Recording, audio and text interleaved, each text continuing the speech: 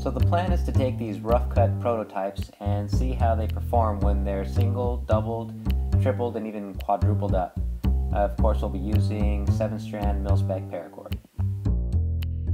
There's going to be a plastic bag around the fishbone just in case it comes apart. I want to be able to catch all and any flying pieces. Now these were rough cut and I smoothed the edges over with a Dremel tool, but I think it's a safe bet to say that the edges still played a part in where the paracord failed. First one was bent out of shape. Obviously it's not usable anymore, but at least it stayed together. The second set looks like it did pretty well, but again I think the edges had a factor in that. The third set, you see the tail is bent on one of them, and then the fourth we have the same thing. And for those who want to see the paracord snapping, here it is.